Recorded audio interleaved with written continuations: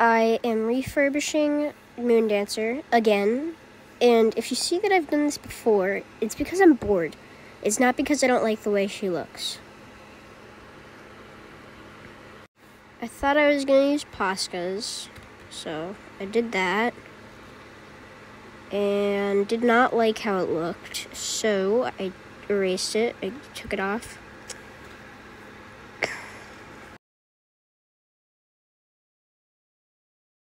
Here's me painting the black side.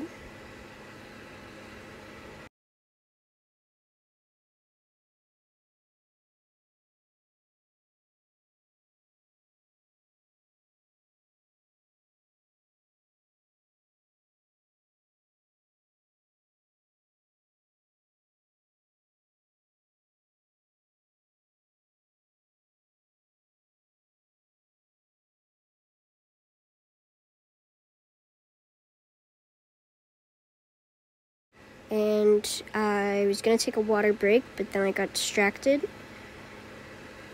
So here's my cat in the reflection. Here's my other cat.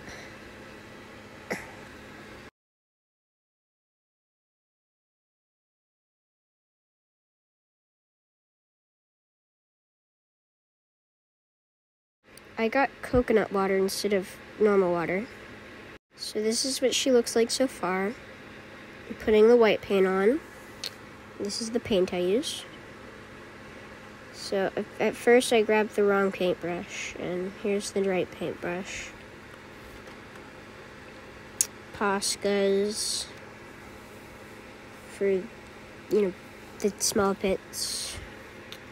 And I messed up the tooth, but then I fixed it. And so this is the finished product. Except for this. So putting on the straps, at first they were a little too big.